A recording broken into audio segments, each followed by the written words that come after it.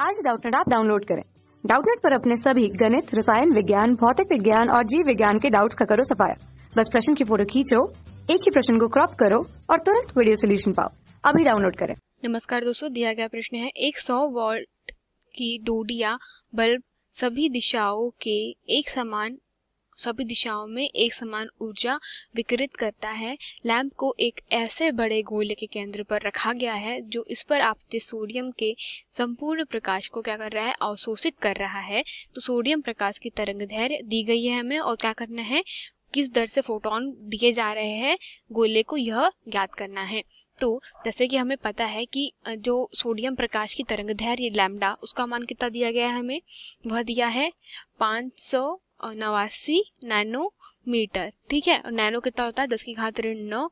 तो हम लिख सकते हैं पाँच, आठ, नौ गुना दस की घात ऋण नौ मीटर। ये हो गया हमारा लैमडा का मान। इसके बाद में दिया गया है हमें क्या शक्ति? पावर। कितना दिया है? पावर दिया है हमें सौ वाट। ठीक है? तो सौ वाट का हमें पावर दिया गया है। तो अब हम लोग इसके सबसे पहले क्या करते हैं? हमें पता है कि जो कह सकते हैं कि फोटोन जिस दर से प्रदान किया जाता है वह दर किससे दर्शाई जाती है? वह दर जो उसका सूत्र होता है वह होता है एन बराबरी से शक्ति बटे जो ऊर्जा होती है ठीक है? उसकी बात करते हैं। तो जो शक्ति है वह कितनी है? पी है। ऊर्जा क्या हो जाएगी हमारी? ई e हो जाएगी। वो आ, किसकी? किसी जिस तरंग धारे की जिस तरंग धारे का प्रकाश दिया जा रहा है उसकी ऊर्जा ठीक है?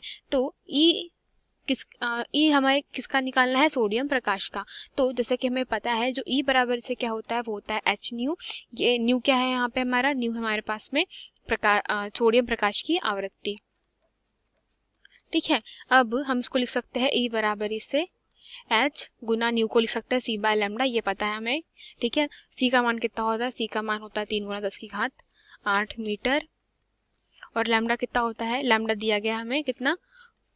पाँच, आठ, नौ गुना दस की घात ऋण नौ। ठीक है, इसको और हमें पता है एच का मान क्या होता है? प्लांक नियतांक है, या छह दशमलव छह, चार गुना दस की घात ऋण चौतीस जूल इंटू सेकेंड ठीक है तो यह मान हम ई में रख देंगे ई तो ई हो जाएगा ई बराबरी से छह दशमलव छह चार गुना दस की घात ऋण चौतीस गुना तीन गुना दस की घात आठ के बटे में ये हो जाएगा। लैमडा का मान कितना है? पाँच आठ नौ गुना दस की घात ऋण नौ। तो जब इसको हल करते हैं दोस्तों तो यह लगभग माना आता है किसके बराबर?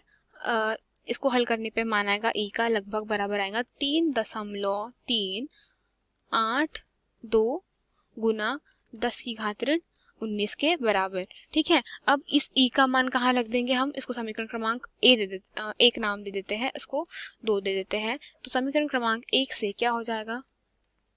समीकरण क्रमांक एक से जो एन है मतलब इलेक्ट्रॉन फोटोन उत्सर्जन की दर है, वह कितनी है? सौ बटे तीन दशमलव तीन आठ दो गुना दस की घात ऋण उन्नीस ठीक है? तो यह जब इसको हल करेंगे तो उसका जो टोटल मान है वह किसके बराबर आ जाएगा लगभग, वह आ जाएगा तीन गुना दस की घात बीस के बराबर। तो कितने फोटोन उत्सर्जन की दर क्या है? तीन गुना दस की घात बीस फोटोन ठीक है? फोटोन प्रति सेकंड ठीक है? मतलब एक सेकंड में कितने फोटोन उत्सर्जित हो रहे हैं? तीन गुना दस की घात बीस। तो सही उत्तर क्या है इसका दोस्तों? यह उसका उत्तर था, धन्यवाद। कक्षा छठी से बारहवीं से लेकर NEET I I T JEE वो एडवांस के लेवल तक। एक करोड़ से ज़्यादा छात्रों का भरोसा। आज ही डाउनलोड करें डाउट नेट ऐप या व्हाट्सअप करें अपने सारे डाउट्स आठ चार सौ चार सौ चार सौ पर।